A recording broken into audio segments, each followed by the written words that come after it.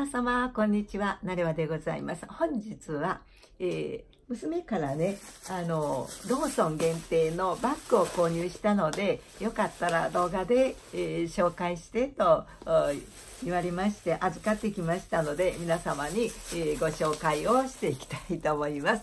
えなんか、ローソンで、えあの、オリジナルのバッグを販売してるようでございまして、えー、で、これ前からね、なんか欲しいなとは言ってたのを聞いたことがありまして、えー、それはこちらでございますね。えー、リラックマのバッグでございますね。えー、なんかね、えー、なかなかブラックがないとかって すぐ売り切れちゃうんだそうですね。えー、これは、あら、うーと、ここ一応切らないと開けられないんですね。えー、じゃあまずね、えー、えー、この辺でいいのかな？この上を切っちゃっていいのかな？まあ一応ね、え紹介してということなので、開封をね、え遠慮なくしていきたいと思いますね。えなんかすごくね、コンパクトな感じに収まっておりますよね。可愛いですよね。えどんな感じなんでしょうかね。えではまず出してみたいと思います。えー、っと、まず、リラックマの説明書が入っておりますね。こちらのバッグの説明書でございますね。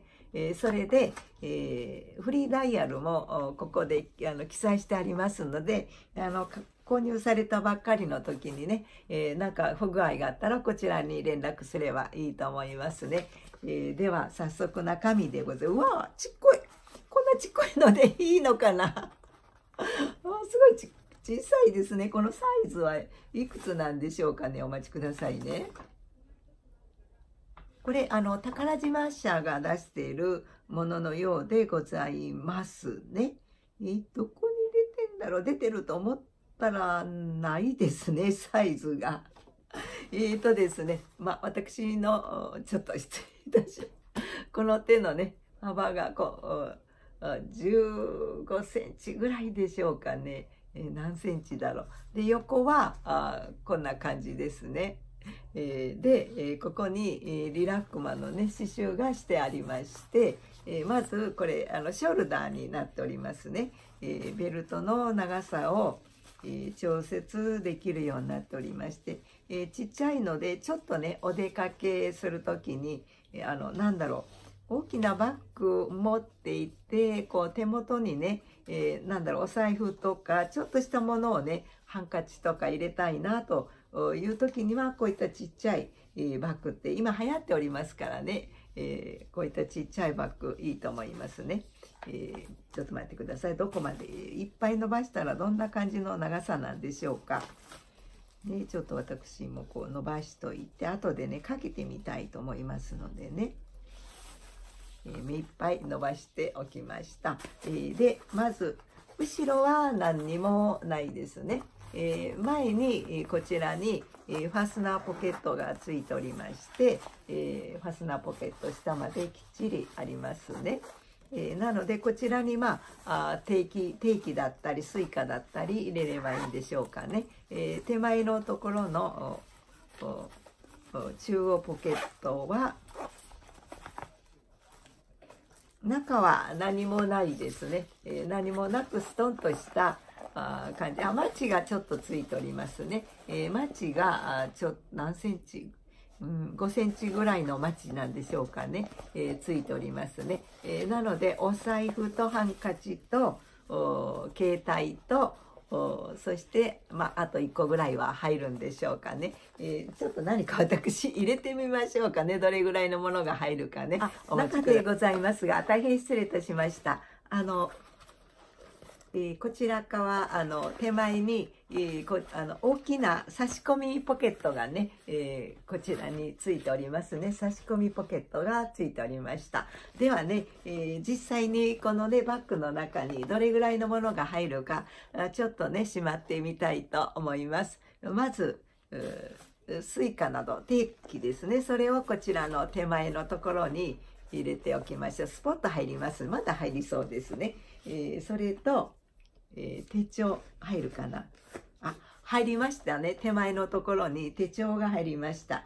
あとこういったあのペンですね。ペンもできたらあペンはちょっと手前は厳しいですかね。あ斜めにすれば入りますね、えー、では斜めにして入れました。ペンとスイカとちっちゃな手帳が入っております。あのメモ帳と言った方がいいでしょうかね、えー、ではメインなところにまず長財布を入れたいと思います。私がいつも使っている長財布ですね、えー、長財布をまず入れました。あそして、えー、ハンカチであと、えー、小銭入れ、えそして、えあのハンドクリームですね。ハンドクリームをさっきの差し込みポケットのところにね、えー、入れておきたいと思いますね。えー、そしてあと折りたたみ傘を入れたいんですがこれ本当に最初にちっちゃくて軽くって私これ手放せないんですね。これが入ったら文句ないんですけどちょっとこれ、えー、無理かな。だけれどあはい。え一応入れてみましたけど折りたたみ傘だけちょっとねえこのようにはみ出てしまいます。まあちょっと、えー、閉めてみましょうかね。ファスナーを閉めて。あこんな感じで、えー、ちょっとあの顔あの折りたたみ、え傘だけちょっと顔出しますけれど入らないわけじゃないですね、えこれぐらいだったら、うんこんな感じで、この前のところでね、えー、ちょうどいい丈の長さでしょうかね。入っておりますね。えー、なので、えー、スイカはこちらに入ってますので、えー、こうやってパッとね、パチッとできますね。え何かメモしたいときはあ、手前のここからメモ帳とペンが入っておりますね。えそして、えこちら側には折りたたみ傘と、えお財布、小銭入れ、小銭入れ、えそして、ハンカチ、あ、ティッシュも、ティッシュもね、入りますね。えー、で、あと、えー、ハンドクリームを入れておきましたので、えー、あとティッシュはもう十分入る感じでございますね。まあ最小限、えー、これぐらい入れば、あの、文句ないですね。え、あとは大きなちゃんとしたバッグ、デイバッグだったり、ね、えー、なんだろう、ショルダーのトートバッグだったりを持って、えー、ここのところで、あの、お財布とかを出したい時にはちょうど、それとか、あご近所のお散歩だったらもうこれだけで十分でございますね。えー、かわいいですね。えー、ということでね、えー、今回、え、ローソンで、え、こちらローソンでねあのローソン限定オリジナルのバッグのようでございますね。えー、サコッシュと言った方がいいんでしょうかね。バッグ的な扱いとしてはね。